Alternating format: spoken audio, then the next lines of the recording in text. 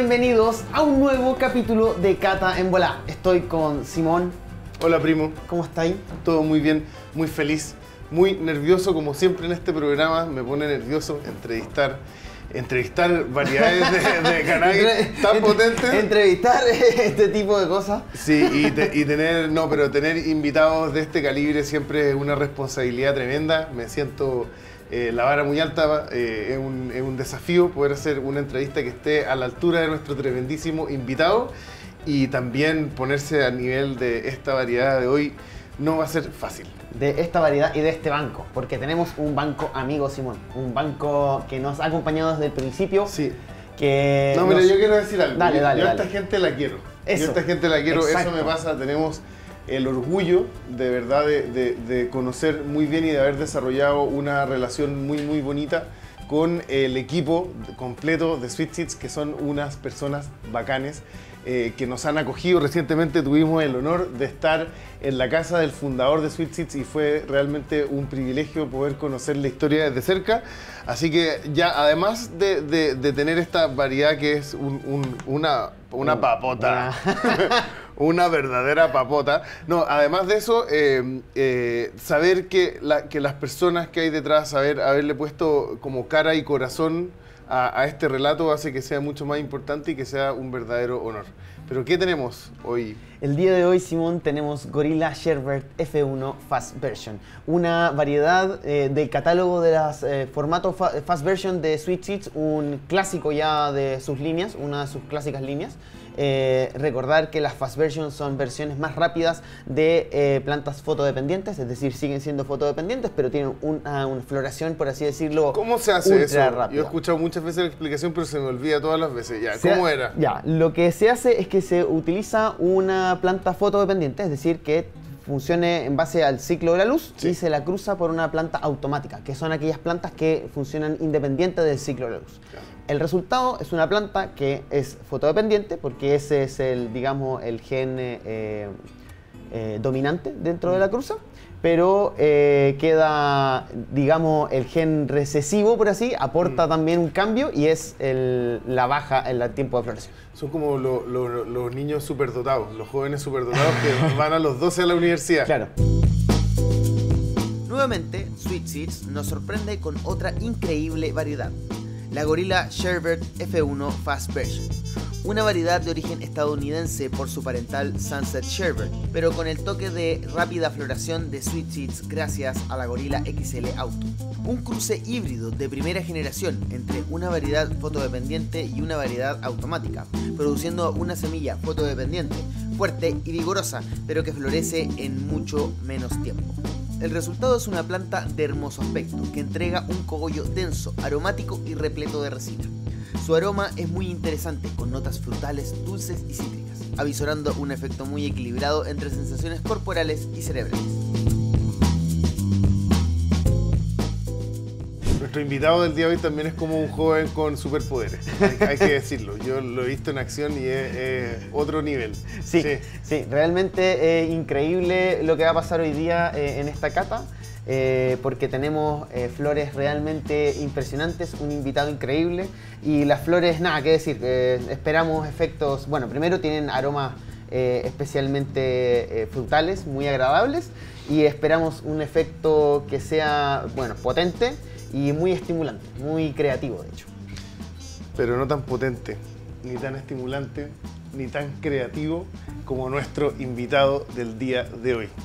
Querida comunidad, nuestro invitado, a pesar de su juventud, es una persona que tiene 15 años de trayectoria en los que ha recorrido el mundo y dejado en alto el nombre del freestyle chileno. Destacamos entre ellos su participación en God Level 2018 y su reciente eh, bicampeonato en la FMS Freestyle Master Series de Chile. En paralelo a su trayectoria como freestyler ha desarrollado una beta artística en la composición con tres discos ya publicados Lobo sin Luna, Una Vuelta por el Mundo y El Lujo del Barrio. Además, se ha transformado en uno de los precursores y mayores exponentes en el freestyle chileno, participando desde sus inicios en la competencia DEM, una de las instancias más importantes para el freestyle a nivel latinoamericano.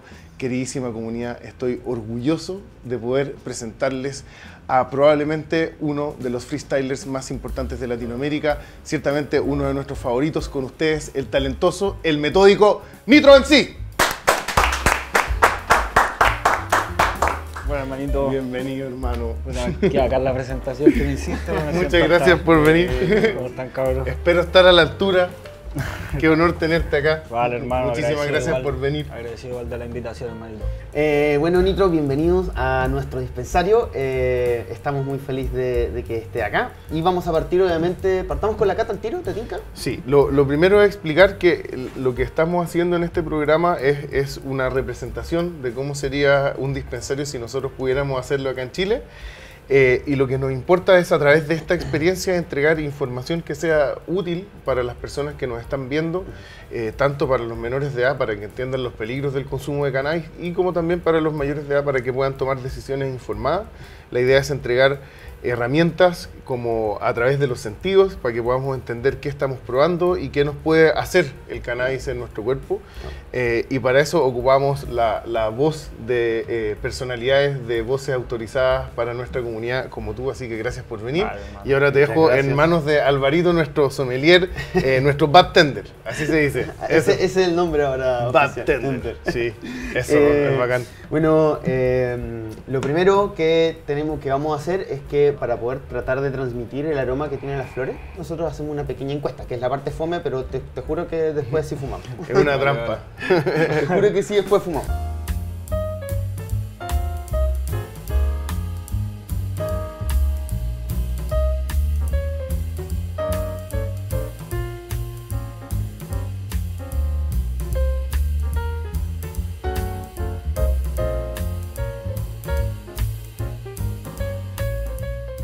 Hacer la cata de Dynavac. Yo ya estoy desesperado. Ya.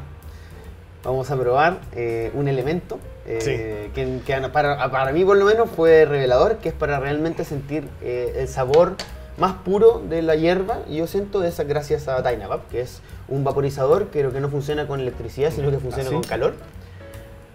Y ahí Simón Ya, lo va a ¿una cargar. pipa o no? Es Sí, es muy O sea, parecido a una pipa, pero tiene... no combustiona, sino es que sin- vaporiza. No vamos a quemar. Ah, ya, ya. Y además lo interesante es que introduce un concepto nuevo que es lo- los ciclos de, de- para vaporizar. Y en el primer ciclo no vamos a tener vapor, solo vamos a sentir el sabor. Y, y vamos a saber cuándo está listo porque está diseñado esta pieza metálica para que cuando se caliente va a hacer un clic. Y ese primer clic es nuestro primer ciclo de sabor. Mira, Ya. lo vamos a calentar a ver si se escucha el clic. Gira, gira, gira, gira. ¿Ah? Siempre girando el Dynavap. Cuidado con la... Cuidado con el invitado. Perdón. ¿Quién va a explotarnos a la vez?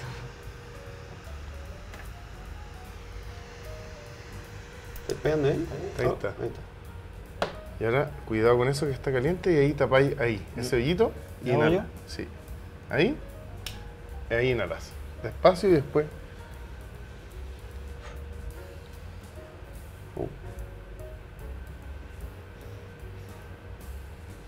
Está bueno, hermano, se sintió caleta. Puede ser solo sabor.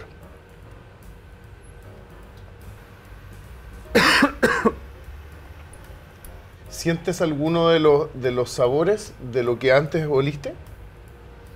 Eh, ¿Se parece? ver, yo diría que frutal de- es como lo que más. Yo concuerdo. Lo que más Tiene sabor a frutitas.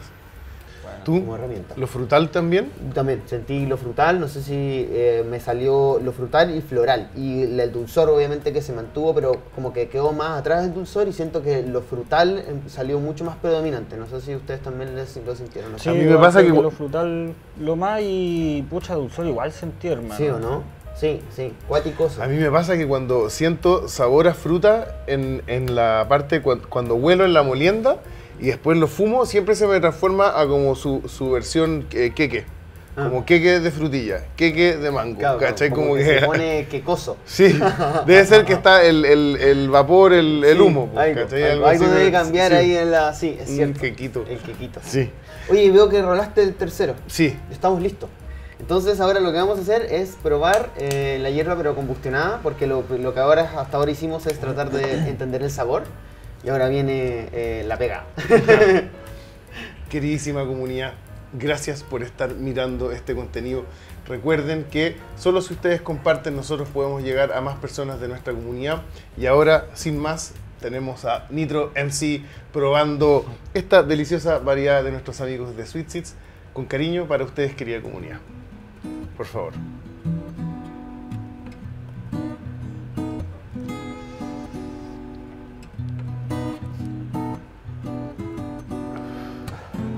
¿Queda alguno de los sabores? Eh, sí, igual eh, siento que como que lo sentí mucho más intenso en el cosito que ocupamos recién, pero igual sí, igual se siente Sí, lo sí. frutal y todo eso. Bueno, eso es súper importante que, bueno, diste en el clavo y en verdad eso suele pasar. La experiencia de cata es mucho más patente en un, en un Dynamap eh, o en ese formato porque no, está, no estamos quemando los terpenos al final. Acá la combustión ya se quema todo, así que el, el proceso organoléptico más importante ya pasó. Ahora aquí viene lo que sí, el proceso químico, Sí, como eh, la que es pegada. la, la sustancia Sí. entrando al organismo. Con, con también, o sea, en el fondo también podemos llegar al punto en donde nos volamos, pero nosotros lo estamos utilizando en realidad como herramienta de sabor, porque lo que a nosotros nos interesa al principio es como tratar de degustar las propiedades organolépticas de la flor.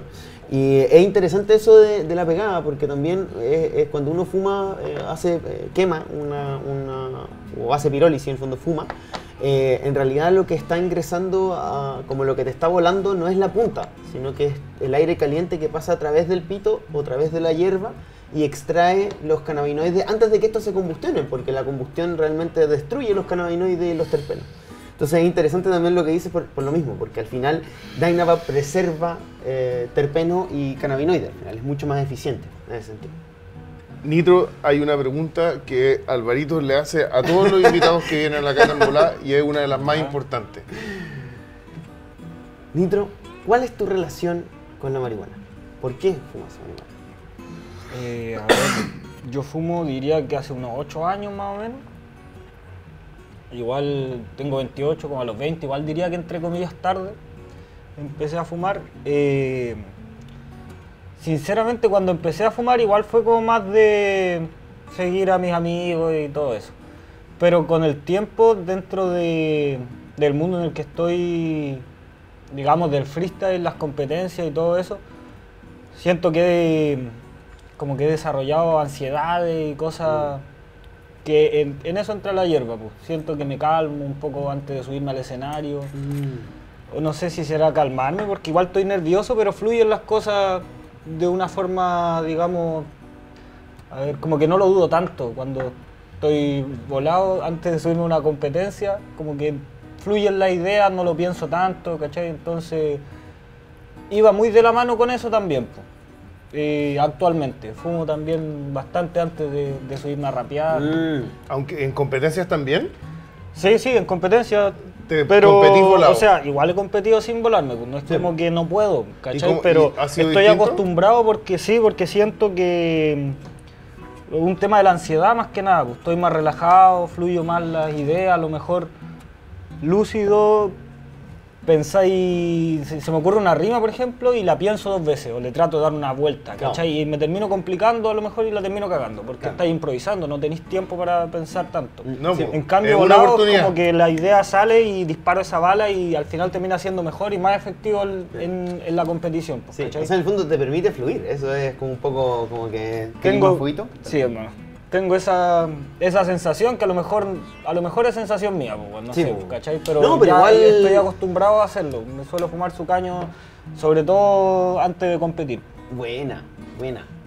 Bueno, qué, qué, qué cuático subirse, subirse a un escenario así volado. O sea, nosotros Yo lo hacemos. más grandes, digamos, que me he subido ha sido así como eh, bien volado, pues, Oh. Para que la weá, para sentir que fluye, ¿cachai?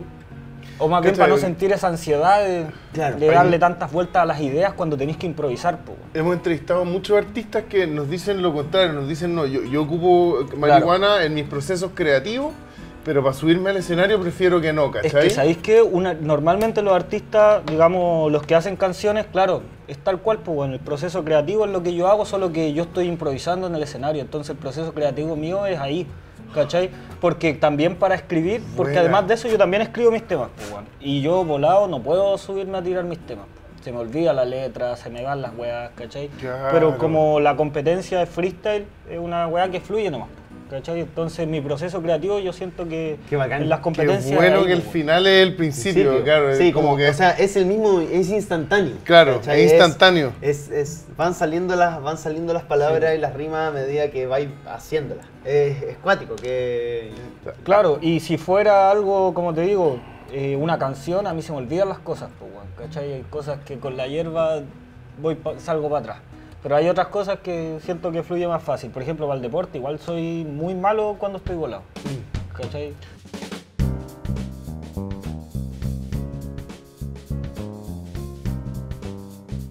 ¿Y qué deporte te gusta hacer? Eh, bueno, igual hace rato no hago, pero me gusta el parkour. Uh, Me gusta el Buena. parkour. Y bueno, el básquetbol igual, aunque tampoco soy ni una máquina, pero igual, igual, lo igual que disfruto caleta. peligroso hacer parkour volado. Como que. Por eso, hermano, yo me saqué la chucha un par de veces eh, Las manos, los pies. ah. y no... El parkour también es freestyle. un- O sea, O sea, sí, en sí, esencia, ¿no? obvio Sí. que tú puedes preparar tu salto Claro, muchas podéis tener veces, un pero. circuito, pero tiene, tiene también ahí conexión. Claro, pero como que el origen del parkour es un poco como, como freestyle en el Claro. sentido en que te entregáis a la ciudad un poco y la vais recorriendo, de- Claro. Sí. la vais experimentando Sí, de pues, esta manera extrema. que vaya saliendo Claro. y sin saber lo que, lo que va a pasar. pues. Como Claro. adaptándote a lo que a lo, cómo se va poniendo el medio al final. Sí, pues es cuando es un recorrido libre, pues, porque uno cuando entrena a veces, bueno, yo que hice hartos años la weá, ya igual ya no salto ni la mitad de, de esa edad, pero en ese tiempo, claro, uno hacía un recorrido libre o tenía ahí un circuito, pues esas eran las dos formas de entrenar el, el parkour, pues. Oye, te- tengo una, una perdona que me, me vuelva un poquito antes del parkour, pero que, que me, me interesa mucho. He visto bastantes, creo, competencias de freestyle y siempre me impresiona lo mismo un poco, como que el- la, la improvisación requiere un tipo de inteligencia muy especial, ¿cachai? Y poder renderear información en tiempo real, porque hay, hay muchas secciones incluso de la competencia que es toma la última palabra o este concepto que no lo teníais de antes y parte, Y ¿cachai? Y, tení- tienes segundos para tomar decisiones que son decisiones eh, métricas y son decisiones de, que- de- Y de- de, y de, y de, claro, tiempo y golpes, ¿cachai? Como. ¿Qué parte tenéis bajo control de eso? Cuando, cuando sales a, a competir, ¿qué parte está bajo control? ¿Qué parte tú decís, no, mira, yo ya tengo como estas palabras que las tengo preparadas o me voy a enfrentar de cero en cada cosa? ¿Cómo, cómo O funciona? sea, eh, siempre se enfrenta de cero, pues, es la idea, pues, ¿cachai? O sea, siempre tenéis que ir a ser lo más original posible. A veces hay recursos que pueden redundar, por ejemplo, que no sé, pues, yo siempre pongo el ejemplo del fútbol, porque yo sé muy poco de fútbol. Mm. Entonces, sé quizás los hueones más conocidos y porque no paran de salir en la tele, pero a lo mejor puedo redundar un poco en, en la poca información que tengo sobre un tema. ¿cachai? Pero la idea es lanzarte, pues lanzarte y confiar en que vaya a crear algo bueno, aunque también hay un pequeño tiempo de premeditación. Por ejemplo, cuando las batallas son un minuto contra un minuto, eh, tú me estás rapeando tu minuto y mientras tú estás rapeando yo estoy pensando, pues, ¿cachai? Claro. Tú ya me dijiste algo del lápiz y todavía te queda mucho tiempo para rapear, pero yo ya estoy pensando una respuesta. Entonces ahí tenéis uno, pero mientras esté dentro de la competencia Pero es como válido, pues. ¿cachai? Pero cuando es 4x4, intercambio directo, ahí es un debate directo. pues. Mm. Entonces ahí intercambiamos ideas y se nota el freestyle también en ese momento. Y se nota quien no freestylea en ese momento. ¿Cómo, cómo te nutres de, de palabras? De, lees, me imagino, pero que- o, o cómo, cómo- de dónde sacáis la, la- la palabra? La verdad, la verdad, sobre leer, soy no soy tan buen lector, bueno, o sea, bueno, he leído lo que he tenido que leer en el colegio, en la universidad, pero así como de por gusto, tampoco soy gran lector, weón. Eh, siento que he aprendido mucho escuchando eh, a muchos raperos y, no raperos también de todo. También viajar es algo que me ha servido mucho. Yo siento que cuando voy, sobre todo a otro país, escucho que hablamos de lo mismo, pero viéndolo desde otro lado. Pues, ¿Cachai? Por ejemplo, la temática que sea este vaso, nosotros en Chile todos lo vemos desde acá y como que de pronto empezá- empezáis a rapear con un español que te habla cosas viéndolo desde otro punto de vista. Y, ahí es lo mismo, ¿cachai? El mismo Sí. tema. Entonces eso yo siento que me ha enseñado caleta, viajar cosas. ¿Tú eres estricto en, en En, métrica? ritmo, en, eh, ¿en qué cosa? como en métrica, en ritmo, En en, métrica. en lo musical, eres, eh, se- o sea, se nota de alguna manera, pero ¿cómo Es lo pensáis? A ver, en ritmo yo, yo creo que sí, pero soy estricto hasta también un punto, como que tampoco soy tan musical, por así decirlo. Por- yo siento que no tengo una gran voz para hacer tonos y coros así, yo sé rapear, ¿cachai? Pero sí soy estricto en los beats, o sea, siempre sigo los beats y yo creo que es porque desde muy chico escucho rap. Entonces cuando yo empecé Sí, a rapear weón. ya seguía la pista naturalmente, tuve que aprender las otras cosas del freestyle. Lleváis caleta de años en esto y eres joven. po. Eh, ¿Presta un Ah. poquito, hermano? Sí, po. ¿A qué partiste? Yo he escuchado, bueno, en otra entrevista muy buena que te hizo Claudio Mi- Michu, Mi- ¿cómo se pronuncia? Micho. Micho, eso. Michaux. no, en otra entrevista que te hizo Claudio Micho, eh, que, que dijiste que, bueno, un- eso está súper buena esa entrevista, pero, Gracias, pero una de las cosas que me llamó mucho la atención es cuando, cuando te referí un poco como a, a tener conciencia sobre lo que estabais diciendo. Que un poco en, en- en una primera instancia era más explosivo, ¿cachai? Más intempestivo. Y después como te fuiste desarrollando en tu carrera y empezaste como a darte cuenta de, oh, me están escuchando eh, eh, cabros chicos, me están escuchando otras personas, estoy tirando como, esto- ¿qué estoy diciendo? Pero me- siempre que dije- lo que pensaba era como que brígido hacerse cargo de eso mientras estáis improvisando, porque tenéis que recurrir a elementos rápidos y decir, bueno, ya filo con esta religión, igual le voy a tirar un palo, ¿cachai? Como, Sí, lo que como- pasa es que pucha, igual hay una pequeña línea que uno suele cruzar. ¿Cachai? ¿Para qué? A lo mejor el tema de la religión, que yo igual creo en Dios, pero a lo mejor puedo decir una rima que, no sé, pues bueno, estáis frente al diablo y te voy a hacer sentir el infierno, y, weón, y yo no soy satánico, pues, weón, ¿cachai? No sé, pues en ese sentido uno todo el rato eh, Claro. pasa una línea de lo que realmente, estrictamente piensas, ¿cachai? Claro. O sea, te puedo decir malísimo, patético, enano y toda la weá, Claro. y, y después somos amigos, pues, ¿cachai? Sí, en bueno. ese sentido uno O cruza te podéis todo poner el tiempo como Mateo, una como, línea. hey, me, me fijé que citaste a- al diablo, pero yo sé que tú no eres. Claro, Sí, pues, o sea, y, y cada uno tiene su estilo, o sea, así lo veo yo. Claro. Hay gente que es demasiado real para mi gusto con lo suyo. O sea, yo soy un weón que igual juega un poco con el personaje y la ficción. Mm. ¿Cachai? Pero Sí. igual se puede ver eh, de distintas formas el freestyle. pues. Lo he escuchado.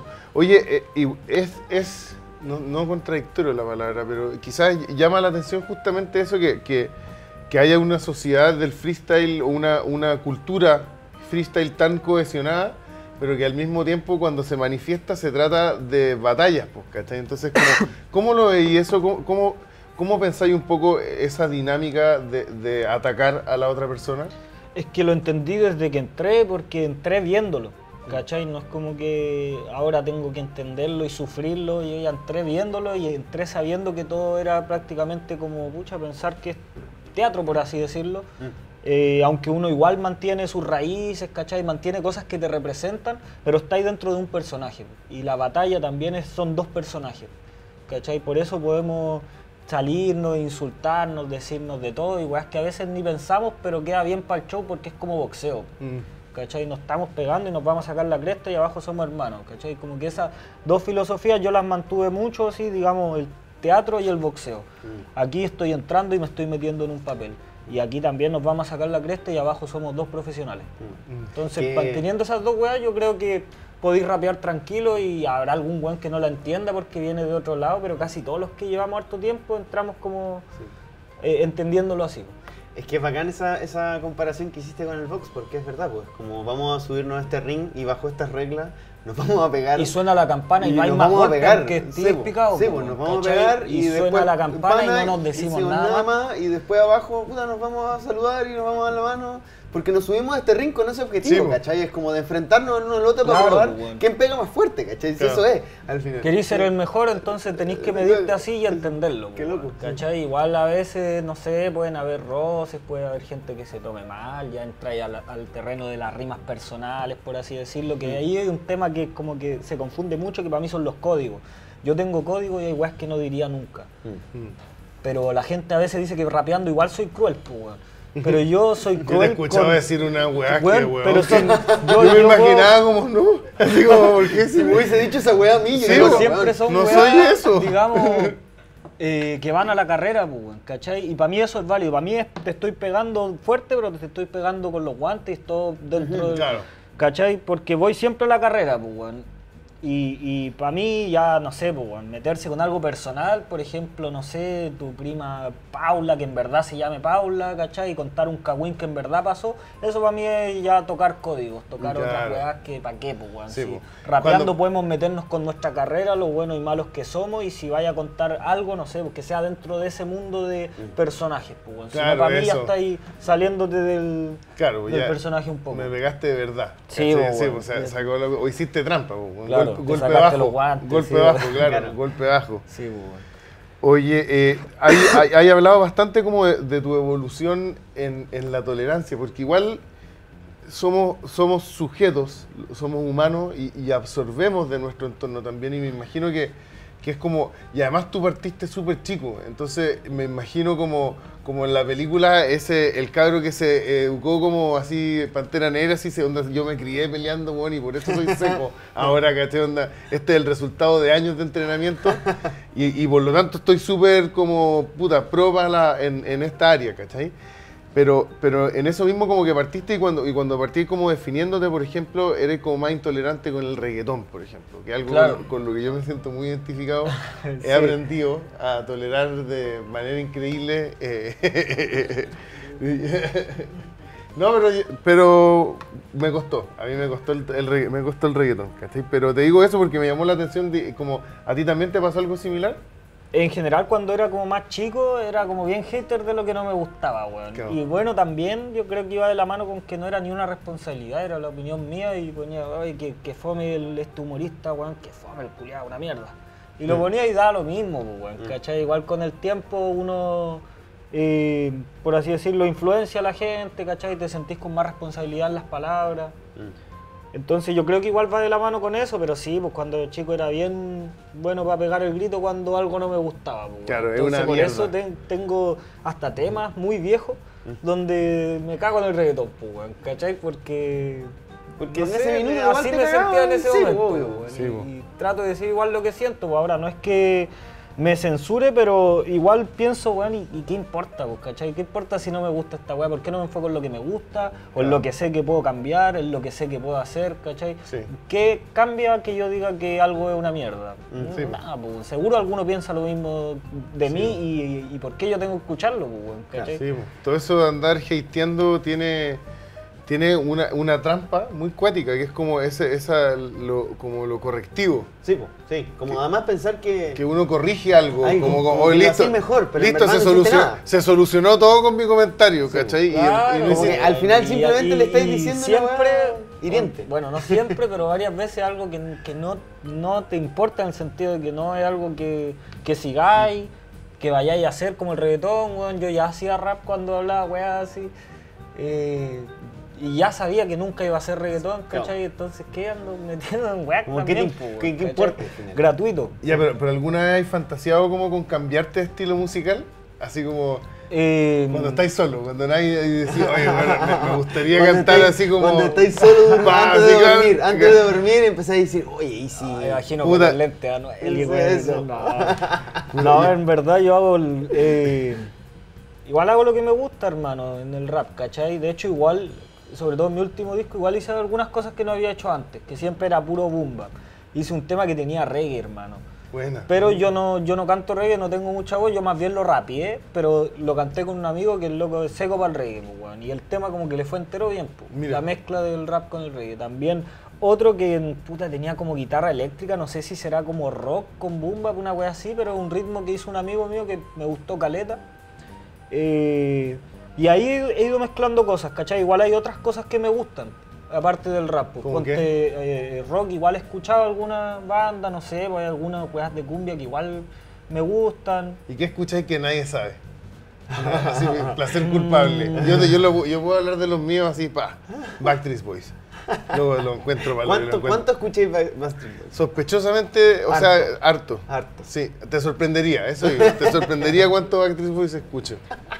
Puta, yo he escuchado, no sé, he escuchado reggae, pero es que algo así como fijo, yo siempre escucho rap, ¿cachai? Ya. No, y sí, que me guste como aparte, he escuchado algunos temas de reggae igual, weón, he escuchado alguna canción romántica que igual te llega cuando andáis la cagada. Ah, la cadera, contar weón. igual, güey, dale, dale. No, no, no, pero grupo que todo el mundo cacha, pues no sé, no, ya para qué, weón.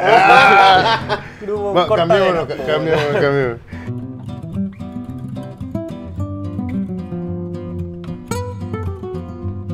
Oye, y, y también escuché otras entrevistas tuyas donde te referías mucho como a, tu manera de hacer freestyle, eh, comparando eh, el estilo de, la métrica un poco, de, fijarse más en la métrica versus tu estilo que es más directo como al punchline. ¿Cómo, a, qué te referíais con eso? ¿O, cómo, lo- cómo describiríais tu estilo de freestyle? Mira, la métrica. eh, a ver. Yo cuando digo métrica, igual me refiero a todas las estructuras. Y cuando digo estructuras, me refiero. A ver cómo explicarlo, como a los juegos silábicos de las palabras.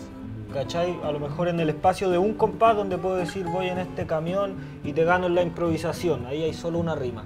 ¿Cachai? Eh, pero si meto rimas entre medio en ese mismo tiempo, para mí eso es una estructura o una métrica. ¿Cachai? Eh, yo manejo este camión y llego lejos con mi improvisación. Manejo y lejos también riman y camión una rima de mierda, pero la weá es que para que cachis que en el mismo tiempo podéis rimar entre medio, ¿cachai? O jugar con las sílabas, para mí eso es la métrica.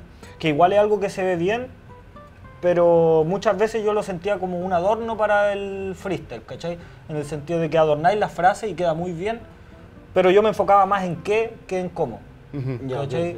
Eh, yo directamente se me ocurría algo y te lo decía así, la rima como es, weón. Como fondo ¿cachai? sobre forma. Como da, Eh, da- sí, con- yo- contenido era lo importante. Sí, y, y claro, no, no sé qué entrevista será exactamente, pero me acuerdo que antes tenía muy marcado eso, po, que lo mío era como mucho más punchline. Y en ese momento también en Chile estaba muy de moda la métrica, la estructura, que igual con el tiempo ha cambiado eso un poco. O sea, hoy día yo creo que igual juego con las dos. Eso, tú, de nuevo, a pesar que eres joven y lle- lleváis mucho rato en esto, porque es un montón de, una trayectoria tiempo, larga, po, o sea, un montón de años trabajando, estudiando, evolucionando. ¿Cómo has visto cambiar el mundo del freestyle desde que tú partiste? Que también en una entrevista que te hicieron en un auto en España, creo, Ya. en Valencia, ¿puede haber sido? Sí, el, el Eh, bowling, Eso. Y, y habláis como un poco de, de- de cómo en Chile, por ejemplo, eh, Red Bull había sido como una de las pocas plataformas con visibilidad Claro. internacional para los freestaleros. Y cuando tú partiste también pa- pa- eh, trabajaste desde los inicios en, en la DEM, ¿cierto? Entonces, ¿cómo Sí. ¿cómo has visto variar eso? Eh, claro, o sea, yo cuando empecé era la única posibilidad era ganar Red Bull. O sea, bueno, entre comillas posibilidad porque sabíamos que igual no había mucha plata de por medio, o directamente, mejor dicho, no había plata de por medio. Claro. Eh, pero claro, salía el campeón internacional, te llamaban marca, o sea, la weá igual te servía caleta, Sí, te dejaba muy bien posicionado. Y no solo eso, o sea, en ese momento para empezar, lo de las marcas ni lo pensaba. Yo en ese momento lo que pensaba era, bueno, la única forma de salir de tu país, representar, medirte con los mejores del mundo, con el mejor de acá, el mejor de acá. Y eso es lo que yo quería hacer, pues bueno. Para mí el freestyle igual al principio era algo muy artesanal, pues, ¿cachai? Muy de hacerlo con los cabros, donde saliera, weón. Si es que, si no, no, da lo mismo, ¿cachai? Entonces ya cuando me empecé a enfocar y lo empecé a ver más profesional, tenía como eh, esa mentalidad, pues bueno. Quería competir, medirme con los grandes, viajar a representar afuera y era lo único que había Red Bull.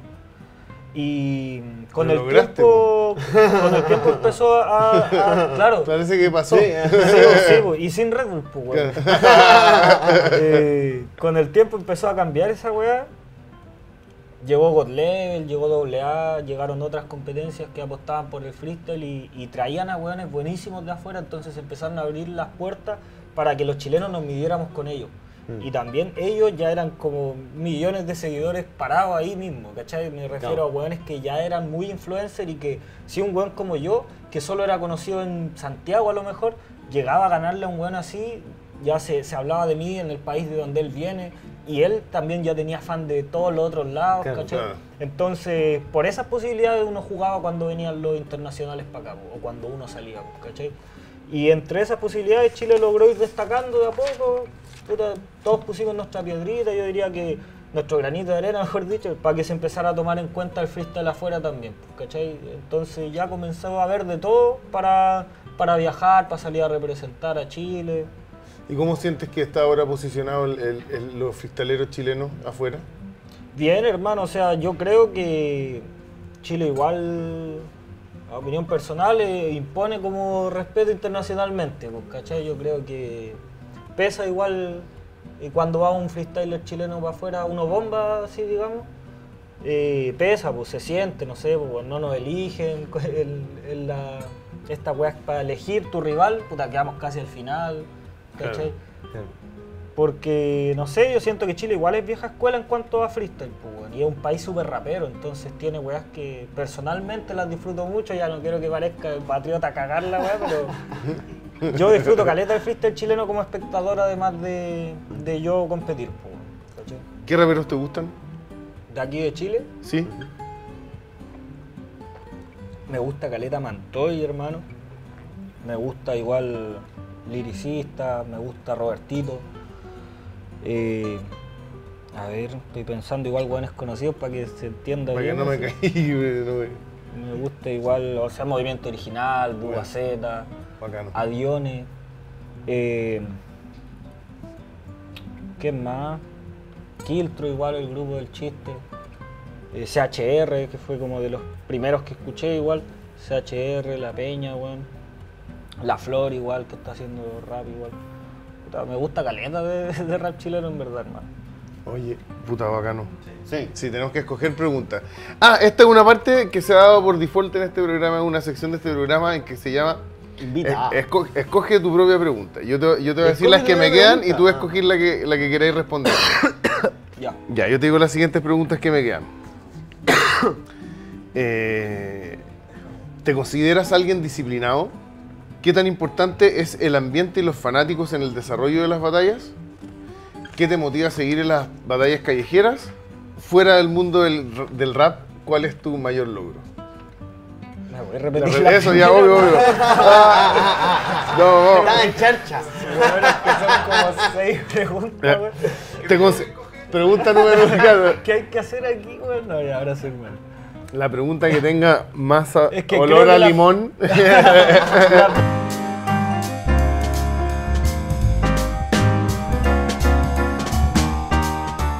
Primero como que había dicho, ya, esta puede ser, weón, pero se me si- olvidó cómo, cómo si, era la si te consideras alguien disciplinado. Eh, No. ¿Ya? ¿Sí, ¿Sí, esa es? Ya. Eh, sí, no.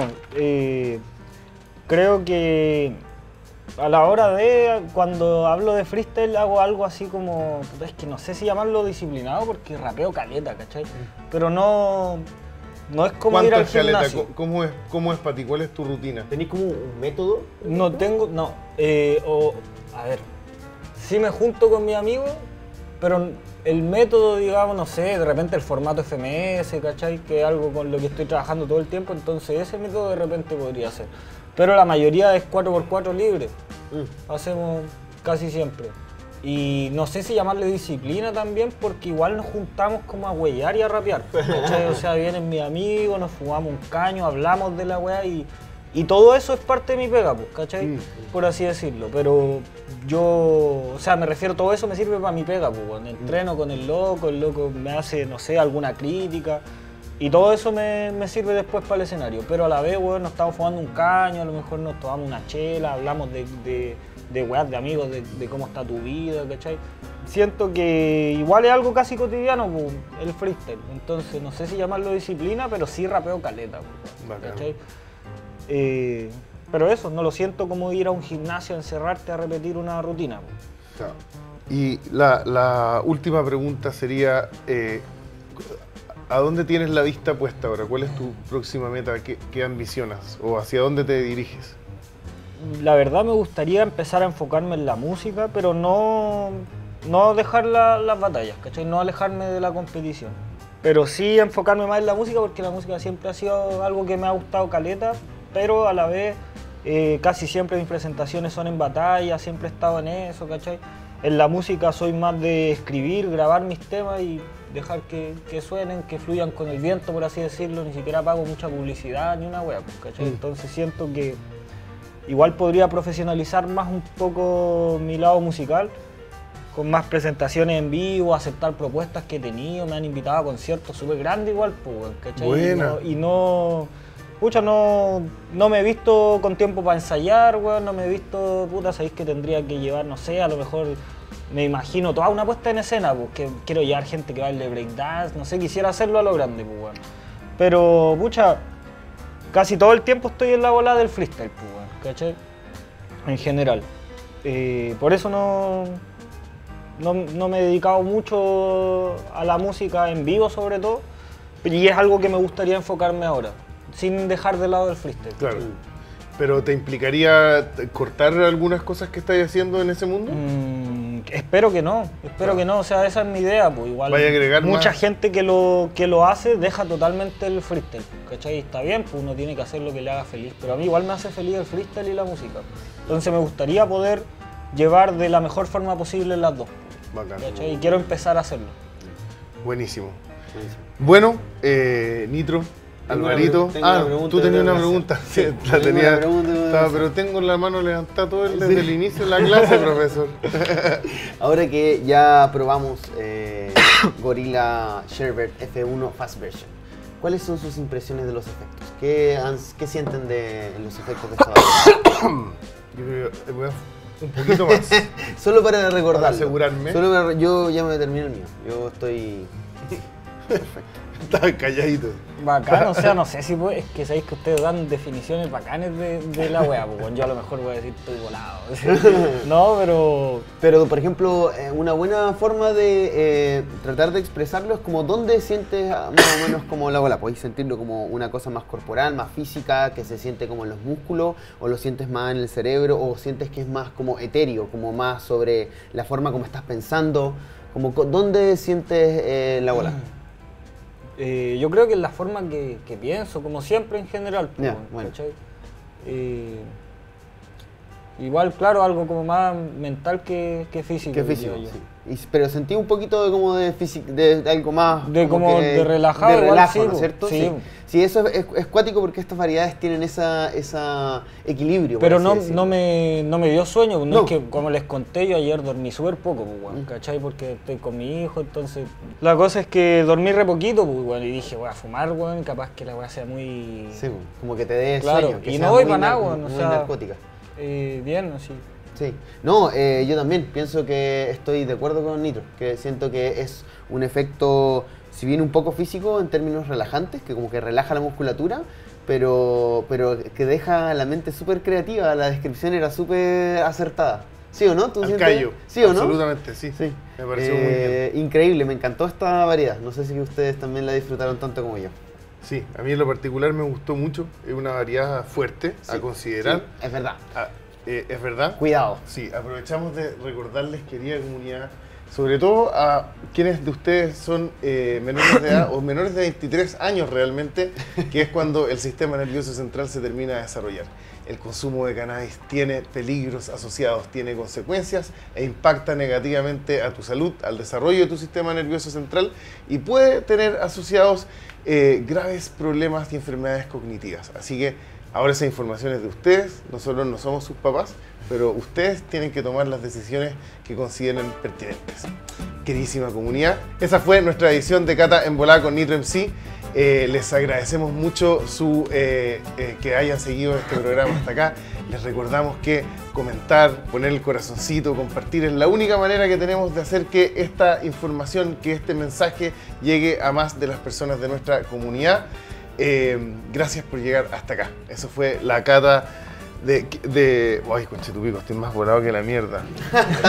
Estaba en charcha. No, no, no. eh, la cata de Gorila- Gorilla, Sherbert F1 Fast Version. Es que sí, pues es terrible. no, no, si está acuático, si está acuático. Gorilla Sherbet Vamos, F1. F1 Fast Version. He Vamos, tratado de decirle todo, todo el programa, he tratado de decir esta variedad. Esta fue la cata de Gorilla Sherbert F1 Fast Version de Sweet Seeds. Lo dije finalmente, lo dije. No- nunca van a saber lo que pasó antes de esto. Pero eso fue eh, nuestra siguiente edición de Cata en Bola. Nos vemos en un próximo capítulo. Muchas gracias, querida comunidad. ¡Chao!